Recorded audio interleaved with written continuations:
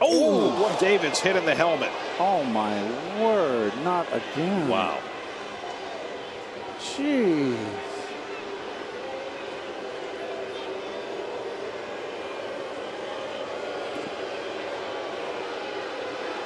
It was four years ago that David Wright got hit in the helmet by Matt Cain here at Citi Field.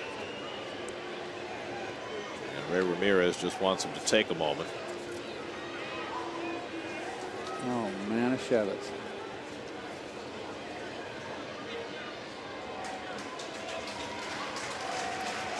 Well, fortunately, David appears to be okay.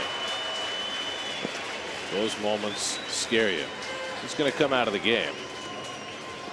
Seven hit batters now for Hellweg in minimal minimal innings.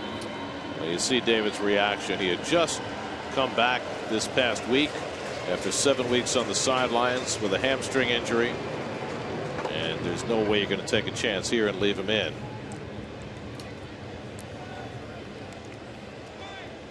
Looking at his thumb, I don't know if he hurt that going down after it hit him.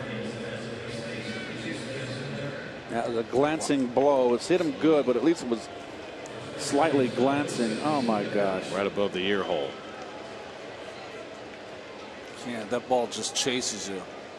Did everything he could to try to get uh-huh. out of the way and still got him.